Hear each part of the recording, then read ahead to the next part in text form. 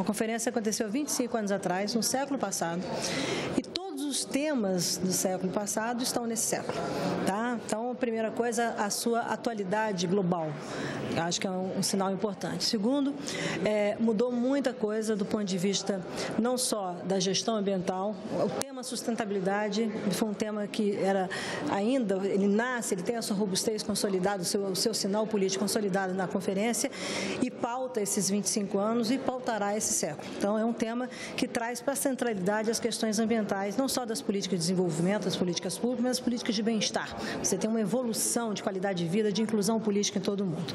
O terceiro aspecto, eu acho que ela dá um grande destaque a temas é, importantes como a questão de mudança do clima e a conservação da biodiversidade, trazendo setores econômicos e o envolvimento do setor empresarial para uma nova visão de mundo, uma visão onde o planeta tem uma capacidade de suporte para acolher todos nós, traz para o dia a dia das políticas globais tá, o tema de que nós temos que saber conservar o meio ambiente e lidar com as vulnerabilidades associadas a isso para dar conta de um planeta que estima ser mais de 6 bilhões de pessoas.